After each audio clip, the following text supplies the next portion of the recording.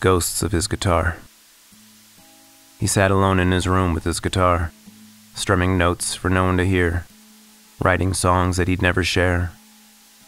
Muffled melodies escaped through the thin walls, giving hints of his pleasures, his pains, his dreams, his setbacks, his soul.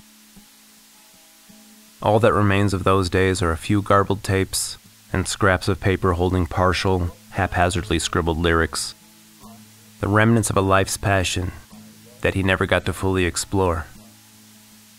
Sometimes, as I pass by the room, I can still hear the ghosts of melodies and the raspy soul of lyrics.